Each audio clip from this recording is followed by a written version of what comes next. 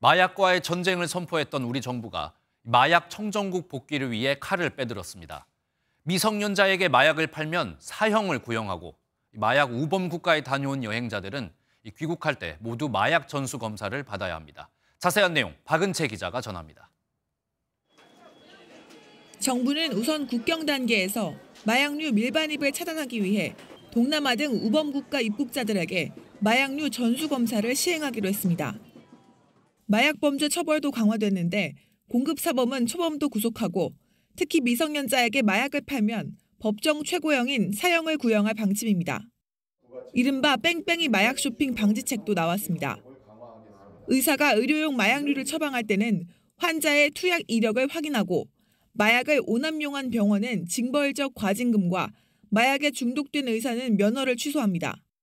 마약 청정국의 지위를 회복하고 우리 미래 세대 아이들이 일상에서 마약을 접하지 못하도록 최선의 노력을 다해 나가겠습니다. 마약류 중독 치료를 지원하는 치료 보호 기관을 내년까지 30곳으로 늘리고 중독 재활센터도 현재 3곳에서 내년 전국 17곳으로 확대합니다. 정부는 내년 마약 예산을 올해보다 2.5배 늘린 602억 원으로 편성해 마약류 확산 대응에 총력을 다하기로 했습니다. MBN 뉴스 박은채입니다.